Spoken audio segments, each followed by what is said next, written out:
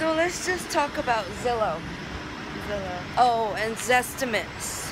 Zestimates. And I say that not the Zestimates. They, um, you know, they have clients thinking their home is worth 295 when we put it on the market it sells for 425 so let's talk about that a little bit because they got people owners thinking their home is not worth you know what it is um, the trouble with it is going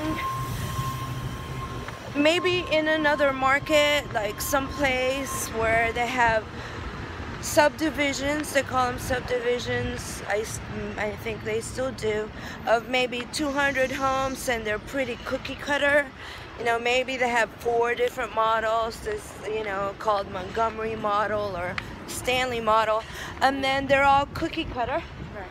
And the way Zillow works is they'll take something, a radius from a subject's property and see what other homes like it sold for. And that's very effective in other markets, but in our market, it's not.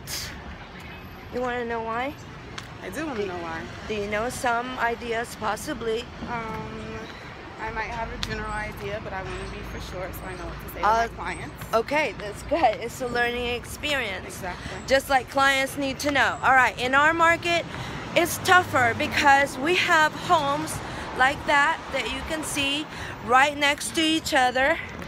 Um, this is a very dense market. You got a mixed unit with maybe condos or apartments on top and a yoga shop on the bottom and then right next to it might be a doorman building, what we call luxury building with amenities.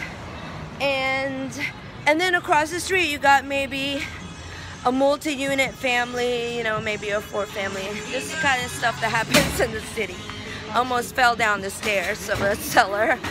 But um so when Zillow does the same thing in taking a radius and you Right. got these kinds of mixed homes, it doesn't have the intelligence to know one is a doorman build building with amenities and the other one across the street is maybe it could be we call bodega little stores. Right.